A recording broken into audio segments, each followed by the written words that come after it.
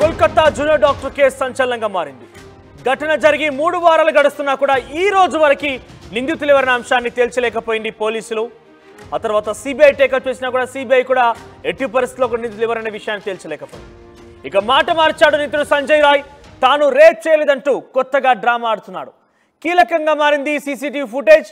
August తొమ్మిదిన తెల్లవారుజామున నాలుగు గంటల సమయానికి ఈ ఘటన చోటు చేసుకున్నట్టు తెలుస్తోంది. బైక్ పై ఆర్జికర్ కాలేజీకి వచ్చాడు సంజయ్ రాయ్.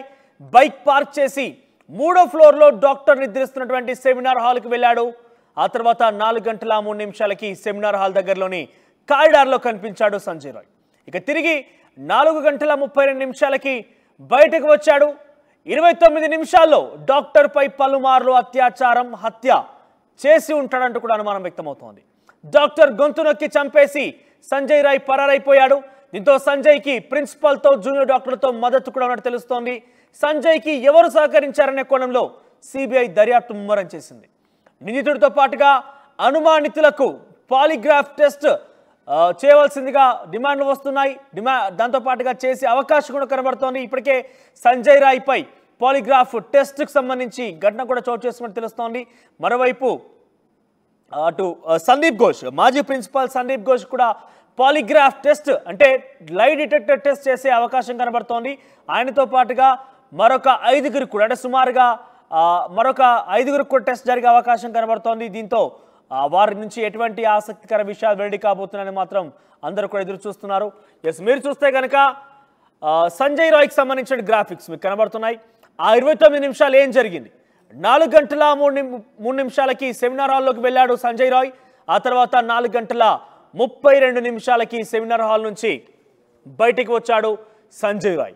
ఇరవై తొమ్మిది నిమిషాలు ఏం జరిగింది? మీకు కొన్ని గ్రాఫిక్స్ రూపంలో తెలియజేసే ప్రయత్నం చేస్తా. సో ఇరవై తొమ్మిది నిమిషాల్లో సెమినార్ హాల్లోనే ఉన్నాడు సంజయ్ రాయ్. ఆ ఇరవై తొమ్మిది నిమిషాల్లోనే ఈ ఘటన చోటు చేసుకుంది. అరగంట పాటు అభయకు నరకం చూపించాడు. విచక్షణ రహితంగా దాడి చేయడంతో పాటుగా తనపై చాలా క్రూరంగా వ్యవహరించాడు సంజయ్ రాయ్. మెడపైన భాగాన్ని చాలా బలంగా భూమికి నేలకి కొట్టడంతో చాలా బలమైనటువంటి గాయమైంది. తీవ్ర రక్తస్రావమైంది. ఆ తర్వాత రక్తపు మడుగుల్లో అభయ కనిపించింది. సో ఈ జూనియర్ డాక్టర్కి సంబంధించిన ఘటనలో ఉదయం నాలుగు గంటల ముప్పై మూడు నిమిషాలకి ఆయన సెమినార్ హాల్లోకి వెళ్ళడం ఆ తర్వాత నాలుగు గంటల ముప్పై రెండు నిమిషాలకి బయటికి రావడం. ఇంతవరకు మాత్రమే సీసీటీవీ ఫుటేజ్లో ఉంది. అయితే లోపలికి వెళ్ళి బయటకు వస్తున్న నేపథ్యంలో యొక్క సంబంధించి గ్రాఫికల్ రిప్రజెంటేషన్ కూడా చూస్తే కనుక మెడలో హెడ్ ఫోన్స్ ఉన్నాయి చేతిలో హెల్మెట్ కూడా ఉంది. సంజయ్ రావు నిందితుడుగా మనం చూస్తున్నాం ఆర్టీవీ స్క్రీన్ పైన. ఉదయం నాలుగు గంటల మూడు నిమిషాలకైనా ఎంట్రీ సంబంధించిన విజువల్స్ ఉన్నాయి. ఒకసారి ఎగ్జిట్ కనుక ఉందా పీసీఆర్ ఉంటే ఎగ్జిట్కి సంబంధించిన విజువల్స్ కూడా మీరు ప్లే చేసే ప్రయత్నం చేయండి. సో నాలుగు గంటల మూడు నిమిషాలకైనా లోపలికి వెళ్తున్న సమయంలో ఇవన్నీ కూడా విజువల్స్ రికార్డ్ అయ్యే సీసీ కెమెరాలో సో నాలుగు గంటల ముప్పై రెండు నిమిషాలకైనా బయటకు వస్తున్నప్పుడు మాత్రం మెడలో హెడ్సెట్ లేదు. చేతిలో కేవలం హెల్మెట్ మాత్రమే ఉంది. నాలుగు గంటల ముప్పై రెండు నిమిషాలకు బయటకు వచ్చాడు. దీంతో ఆ హెడ్ ఫోన్ వచ్చేసి నిందితుడు ఆ నిందితుడు తీసుకుబాడినటువంటి హెడ్ ఫోన్ వచ్చేసి అక్కడ అభయ డెడ్ బాడీ ఉన్నటువంటి సో- చోటున ఆ హెడ్ ఫోన్ దొరికింది. ఆ హెడ్ ఫోన్ ఆధారితంగా పోలీసులు ఆయన్ని ఛేదించారు. CCTV footage headphone. ఆ తర్వాత ఆయన ఇంటికి వెళ్ళిపోయి రక్తపు మ- మరకలు మొత్తం కూడా ఒంటి మీద రక్తం మరకలు మొత్తం కూడా క్లీన్ చేసుకున్నాడు నిద్రించాడు. ఆ తర్వాత షూ మీద మాత్రం రక్తపు మరకలు ఆ రకంగా మిగిలిపోయాయి. ఆ షూని పర్యవేక్షించారు పోలీస్ అధికారులు. షూని చూస్తే కనుక రక్తపు మరకలు కనిపించాయి కాబట్టి నిందితుడిగా కన్ఫామ్ చేసుకున్నారు అరెస్ట్ చేశారు. అయితే మొదట్లో సంజయ్ రాయ్ ఏకంగా నేనే హత్య చేశాను నేనే అత్యాచారం చేశాను. చంపేస్తారా చంపేసుకోండి ఉరిశిక్ష విధిస్తారా ఉరిశిక్ష వేసుకోండి ఏం చేస్తారో చేసుకోండి అన్నట్టుగా అసమర్థంగా అహంకారపూరితంగా మాట్లాడడం ఆ ధోరణి చూసాం మనం. కానీ తాజాగా సంజయ్ రాయ్కి సంబంధించి నేనైతే పాలిగ్రాఫ్ టెస్ట్ జరిగిందో అంటే ఆయనకి లై డిటెక్టర్ టెస్ట్ చేశారో దాంట్లో చూస్తే కనుక ఆయనను ఎవరో ప్రేరేపించారు. ఆయన ప్రేరేపితం కారణంగానే ముందుకు వెళ్ళాడు ఎవరో ఎంకరేజ్ చేశారు. బ్యాక్లో ఇంకా చాలామంది ఆయన వెనుక ఉన్నారు అనే ఒక రకంగా ఈ పాలిగ్రాఫ్ టెస్ట్లో బయటపడిందట. సంజయ్ రాయ్ సహకరించినప్పటికీ ఆ విషయాలు బయటకు వచ్చాయి. Sanjay Roy lie detector test చేసిన తర్వాత ఈ దుర్మార్గుడి లై డిటెక్టర్ టెస్ట్లో వచ్చినటువంటి ఆ విషయాలు ఏంటని కనుక చూస్తే డెఫినెట్గా ఆయన వెనుక ఎవరో ఉన్నారనే విషయాన్ని బయటకు చూశారు. బయటపడింది. ఆ టెస్ట్ రిపోర్ట్లో అదే బయటకు వచ్చింది.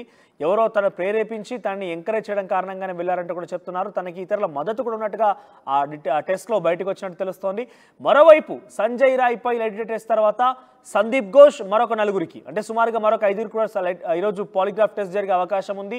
మరి సందీప్ ఘోష్ మాజీ ప్రిన్సిపాల్ సందీప్ ఘోష్ పాత్ర ఏమైనా ఉందా? ఆయన సహకారం ఏదైనా ఉందా? ఇతర ఎవరైతే ఇంకొంతమంది టెస్ట్ చేయాల్సి ఉందో అనుమానితుల్ని వారి విషయంలో సంజయ్ రాయ్కి ఏదైనా మద్దతు దొరికిందనే విషయాలు మాత్రం ఈరోజు పాలిగ్రాఫ్ టెస్ట్ తర్వాత తెలిసే అవకాశం ఉంది. కానీ ఈరోజు మూడు వారాలు గడుస్తున్న సుమారుగా పద్దెనిమిది రోజులు పూర్తయినా కూడా ఈ రోజు వరకు ఆ అమ్మాయికి నిందితుడు ఎవడు? ఏం జరిగింది? వారికి ఏ రకంగా శిక్ష పడబోతోంది ఘటనా స్థలంలో ఏం జరిగింది ఇవన్నీ కూడా ఇక్కడ కూడా వివరించలేకపోతున్నారు. కనీసం నిందితుడు ఇతనే అంటే సంజయ్ రా నియంత్రణ చాలా క్లియర్గా తెలుస్తోంది. కానీ సంజయ్ రాయ్ వెనుక ఎవరో ఉన్నారనేది కదా ప్రధాన ప్రశ్న. ఆ ప్రశ్నకు మాత్రం ఇప్పటివరకు కోలకత్తా పోలీసులు కానీ సిబిఐ పోలీసులు కానీ ఎవరు కూడా కనీస సమాధానాన్ని వెతకలేకపోతున్నారు. ఒక సవాల్గా మారింది ఈ కేసు సంబంధించిన అంశం. దేశవ్యాప్తంగా ఇప్పటికే ప్రతి ఒక్కరికి కూడా ఈ విషయంలో జరిగిన ఘటనపై అందరికి కూడా తేటతెల్లమైంది. ఏంటి అనేది అందరు కూడా అనుమానిస్తున్నారు. కానీ ఎవరు కూడా నిందితురాల్ నిందితుడు అనే విషయాన్ని తేట తెల్లం చేయకపోవడంపై కోలకత్తా పోలీసులపైన సిబిఐ పోలీసులపైన పలు విమర్శలు గుప్పించిన పరిస్థితి కనబడుతోంది.